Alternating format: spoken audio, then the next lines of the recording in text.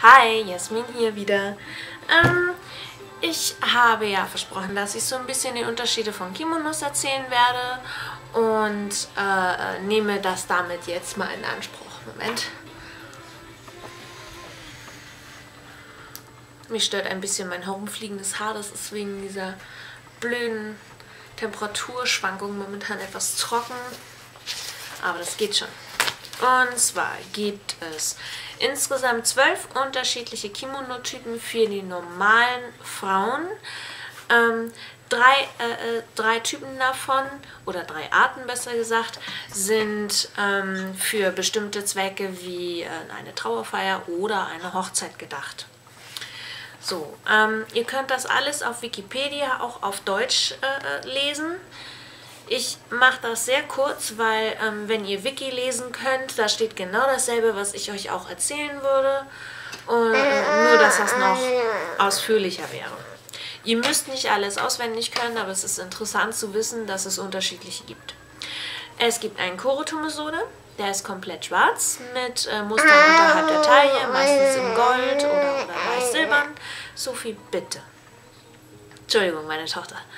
Ähm, so, äh, wird von verheirateten Frauen zur Hochzeit äh, getragen, also zu, äh, als Mutter der Braut quasi trägt man sowas. Dann gibt es unter anderem den elegantesten, das ist der Furisode. Für, äh, ja, für die, die es wissen, das sind die Kimonos mit den super langen Ärmeln, die teilweise bis in Richtung Boden reinreichen, also zwischen 1 Meter und 1,10 Meter lang die sind äh, großflächig gemustert ähm, und werden zum Beispiel äh, zur Volljährigkeitsfeier oder zu Hochzeiten getragen von näheren Verwandten. Der Erotomesode ähm, gibt es auch, der wird vom Verwandten der Braut getragen. Der Homongi ist für Empfänge, Galas oder für die Freundin der Braut. Dann gibt es den Zugesage, sowas wie ich habe. Das ist äh, ähnlich wie der Homongi, der hat halt Muster auf Schulter, Ärmeln und über die Nähte fließend. Und beim Zugesage ist das auch, nur die Muster sind etwas zurückhaltender und schlichter. Und äh, meistens eher unterhalb der Taille und nicht weiter hochreichend. Ähm, der ist mitunter für etwas besondere und elegantere Anlässe gedacht. Äh, dann gibt es den Iromuji, der ist zur Teezeremonie ähm, eigentlich normalerweise wird er getragen. Der ist halt einfarbig und in sich gemustert. Das heißt, ähm, das Muster ist schon von vornherein im Stoff eingewebt.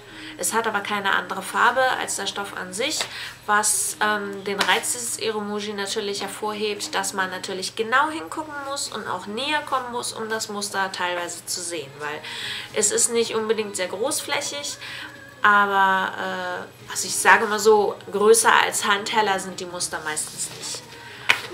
So von dem, was ich gesehen habe bisher. Dann gibt es den Common.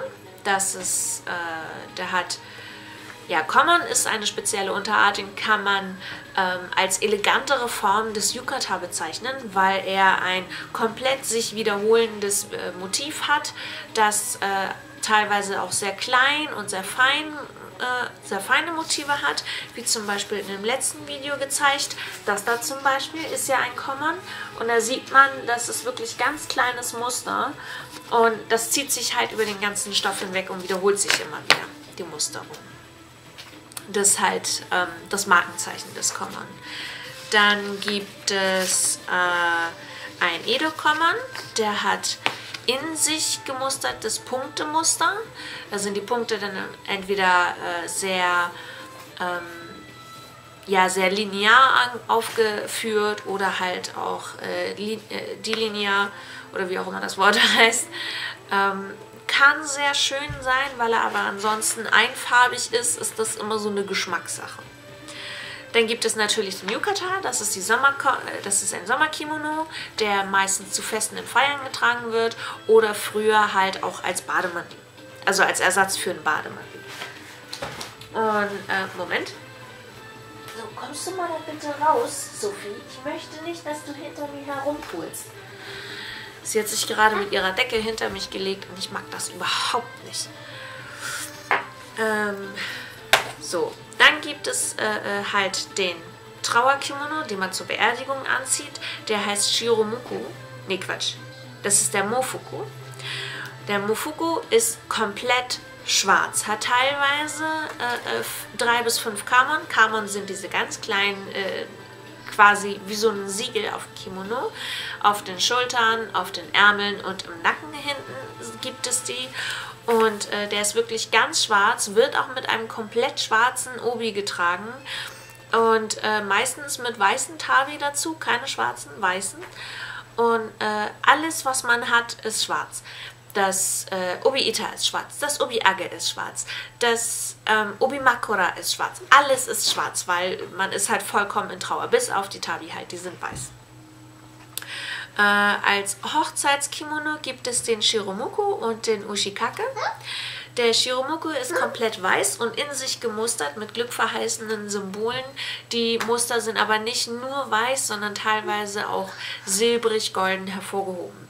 Und der Ushikake ist ein farbiger Hochzeitskimono, der äh, äh, von der Grundfarbe her meist rot ist, teilweise aber auch schon blau oder, oder, oder golden. Und äh, der ist halt mit glückverheißenden Mustern durchwoben wie äh, Phönixe und Trara. Also wenn ihr euch das anguckt, die kosten auch extrem viel und die sind auch ein bisschen länger als normale Kimonos.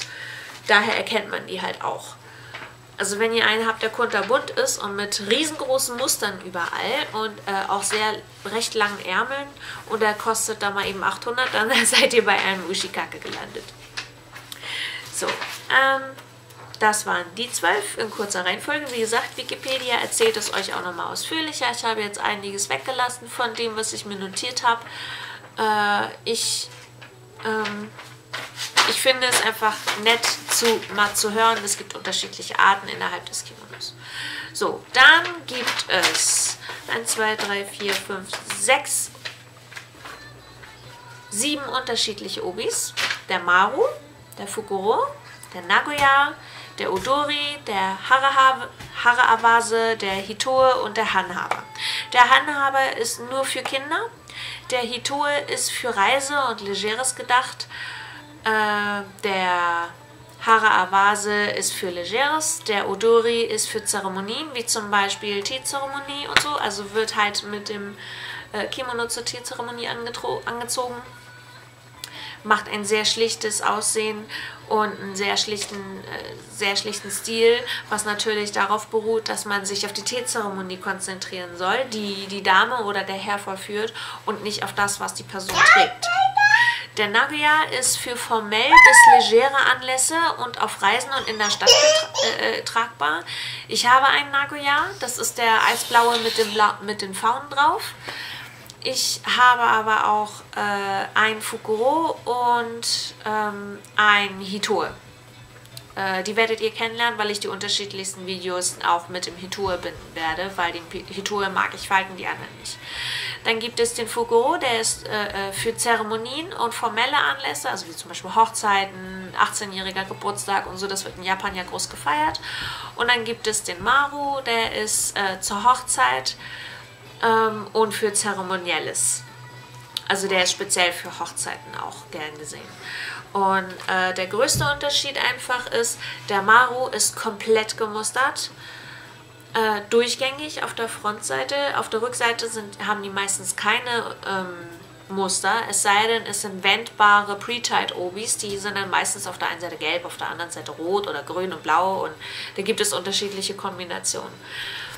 Äh, der Fukuro ist bis zu, oh, was war das, 70, 80 Prozent gemustert. Dann gibt es natürlich ein Stück weit, der ist farblos, aber der verschwindet beim Binden ne, unter dem Rest. Und die Odori und die Haare Awase ebenfalls. Gut, das war es erstmal davon. Im nächsten Teil gibt es mehr.